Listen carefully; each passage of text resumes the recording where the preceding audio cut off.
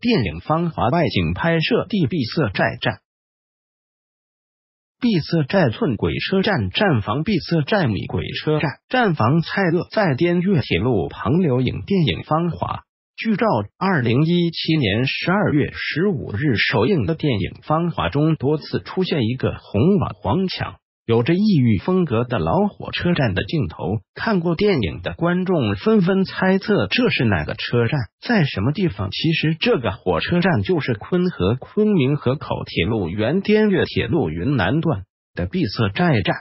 碧色寨站站房位于车站北端东西，向红瓦黄墙、木质百叶窗，法国式砖木结构建筑，宽二十五米，进深十两米。它位于云南省蒙自市草坝镇，一九零九年建成，原名蒙自碧师寨站，是当时法国人修建的滇越铁路中国昆明到越南海防中国境内一个特等车站。它与中越边境的河口站。一样设有海关为滇越铁路中国境内设有海关的两个车站之一。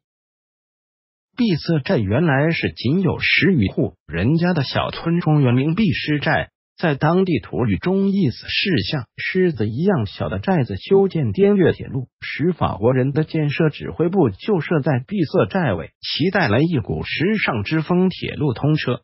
火车站的建成使用进一步给当地带来了生机和活力。一九二一年后，这里成为法国人修筑的滇越铁路，轨距一米，俗称米轨铁路，和中国民营资本家修筑的各碧铁路各就闭塞站，轨距零六米，俗称寸轨铁路的换乘、换装以及出境货物的海关检查站。故在二十世纪二三十年代，这里异常繁荣，使滇越铁路沿线的第一大战鼎盛时期。准备运输出国的锡及锡制品等货物装满了仓库。法国、英国、美国、德国、日本和希腊商人纷纷在这里开设洋行、酒楼、百货公司、旅店、邮局等。当时